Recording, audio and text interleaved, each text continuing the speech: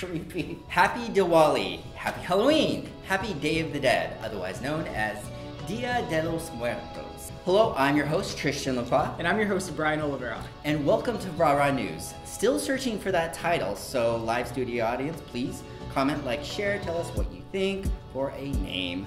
So, Rah is global, and to keep things fun, we invite you to share your holiday with us wherever you are in the world. Post, share, comment, and put your city on the map. Tell us what holiday you want to experience in AR and VR. Today we're taking a deep dive into Finland and Magic Leap and seeing how those are connected. We're going to be taking a look at VR cafes and digging into foveated rendering. Foveated rendering. Foveated rendering. Thank you. Oh, cool. We also have some awesome stuff coming up, so please stick around. Stick around.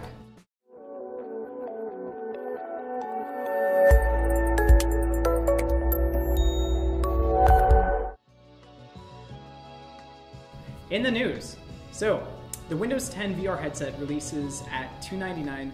Don't have a release date yet, but keep your fingers crossed for soon. Windows partners are optimizing Windows 10 VR capabilities and putting out virtual reality headsets equipped with inside out tracking sensors as opposed to Oculus Rift and HTC Vive's external cameras and laser systems. Not much more information has been published though, so we'll have to wait and see what's coming next, but trust us, we're definitely. Now let's take a leap into Finland. Magic Leap registered a company in Helsinki with CFO Scott Henry as the chairman of the board.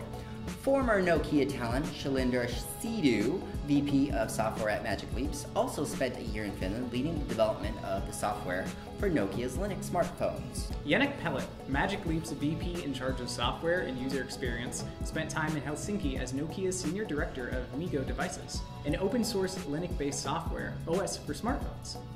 With Finland seemingly offering scalable talent, it makes sense that the Fort Lauderdale based company would be opening a working space in the area. HTC gets into the cafe business as it plans to open Vive VR cafes. Recently, HTC opened a VR cafe in Shenzhen and currently has opened HTC branded VR cafes in Beijing and Taipei. HTC plans to roll out more VR cafes in China next year.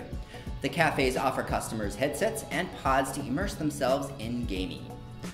As well, HTC has been looking at ways to get headsets and VR awareness to more consumers as it recently signed a deal with Chinese software firm called Shunwang. Shunwang provides software to gaming cafes. In line with their foray into cafe culture, HTC also launched a content management platform called Viveport Arcade. It allows arcade owners to manage their VR content and gives HTC the full package to dominate in shaping the future of social coffee interactions. Yes, it does. Google acquired eye tracking company Eyefluence, which builds eye tracking technology for VR headsets, and with it signals that the Pixel and Daydream Maker is focusing in on VR hardware. So, for practical use cases, I think users can expect more naturalistic and precision-based implementations in VR motion and tracking. But to further break down the details of what actually happens to make this technology work for your eyes, let's talk about foveated rendering. Hi there, I'm Samuel Sords, and I'm here to talk to you about foveated rendering. So what is foveated rendering? Foveated rendering is a digital media processing technique in which the image resolution or amount of detail varies across the image according to one or more fixation points. A fixation point indicates the highest resolution region of the image and corresponds to the center of the eye's retina, the fovea. The location of a fixation point may be specified in many ways. For example, when viewing an image on a computer monitor, one may specify its fixation using a pointing system, like a computer mouse. Eye trackers, which precisely measure the eye's position and movements, are also commonly used to determine fixation points in perception experiments. When the display is manipulated with the use of an eye tracker, this is known as a gaze contingent display. Fixations may also be determined automatically using computers' algorithms. Some common applications of foveated imaging include imaging sensor hardware and image compression. Foveated imaging is also commonly referred to as space variant imaging or gaze contingent imaging. Without taking anatomy and physiology or ample time in a computer science class, this is about as plain speak about the eye tracking technology as you're gonna get here. And now, culture and enter- Thank you, Sam. Thank you, Sam. And now culture and entertainment. Culture and entertainment. Yes. So we're putting the spotlight on Finland. It's buzzing with high-tech skills and startups.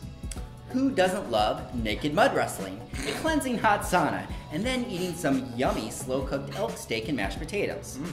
These are just some of the nature-loving delights Finnish folks have at their pleasure. Another is tech talent.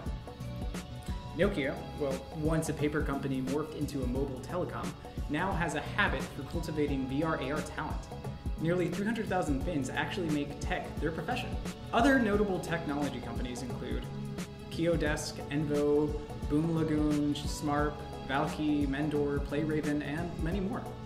Some other fun facts include talented nature photographers, home to an 18th century sea fortress called Suomenlinna, and has a population of a little under 5.5 million people.